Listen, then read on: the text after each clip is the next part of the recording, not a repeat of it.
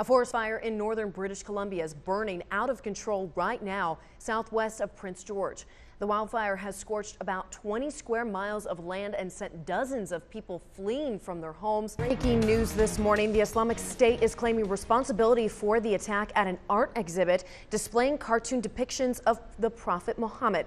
We are at the corner of Neely and H Street in Midland. We are on the scene of a house fire. And what we know right now is that fire crews are putting out hot spots at this time. Two people were killed in an Ector County crash. It happened Monday around noon on I-20 and FM 1936. Hey, breaking news this morning. We're taking a look at the scene outside of the headquarters for the satirical newspaper Charlie Hebdo where one journalist is dead and three officers have been wounded in a shooting. It's been a long and difficult road for a California man. He suffered from a rare genetic condition that required extensive surgery to reconstruct his face. And we have continuing coverage. Officials just confirmed a TDCJ transport bus fell on top of a train. And this is actually video sent to us from a viewer. You see a van that he just passed, and then right here you see a guardrail that has just been destroyed. A man must have really needed to do laundry in Midland. He ended up stealing a washer on display. The seven year downward slide of the casual dining restaurant sector appears to have come to a halt. In preparation for the new Avengers movie, Austin police have put on a special preview for local kids at a medical center. Welcome back at 633, 21 degrees outside. The new year brings changes to federal policy regarding the minimum wage and Obamacare. Residents at this apartment complex told us that three of the eight victims had their cars broken into. Here at the Midland County Jail, where the suspect in this shooting is being detained right now. He, Dan Higgins was said to have shot and killed Midland County Sheriff's Deputy Michael Nact. So the first thing that paramedics do when they get the patient in the ambulance is they get the vital signs. They get blood pressure, heart rate, and oxygen. Tennis is a challenging sport, even with the use of your legs. Some would say nearly impossible without, but not for Adam Lucio. We are picking apples this morning iPhones, that is. And you can just feel the excitement, the eagerness. There's actually a crowd outside right now, and they're waiting to get their hands on the new iPhone. Talked to so far today has really enjoyed themselves, and they've come as far as even France. So, if you can believe it, this is a great place to just hang out with your family or just even visit for a day. Oh, yeah, uh, definitely. It's the best place to come in West Texas.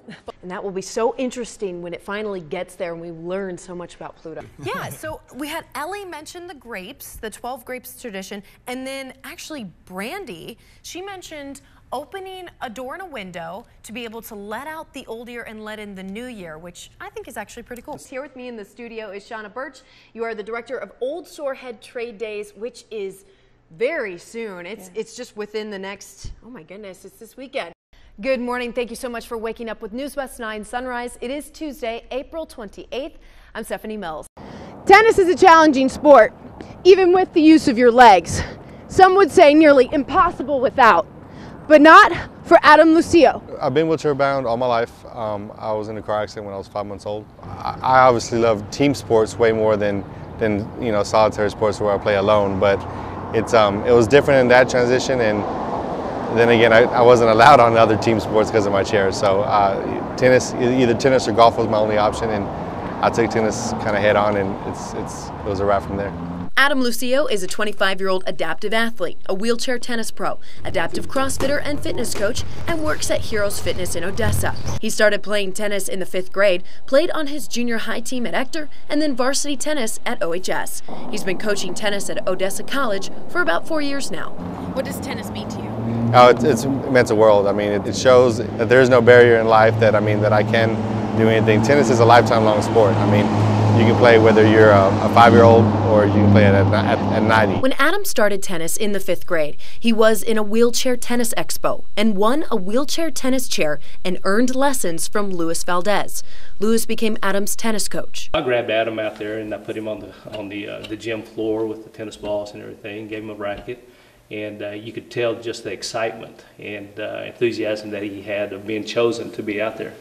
And so, uh, you know, that's what I remember from Adam from the very beginning, how motivated he was and enthused and, and really a good uh, team player with everybody else. So he was a very good example. Some may ask, how it's possible for Adam to be a tennis pro and play the game.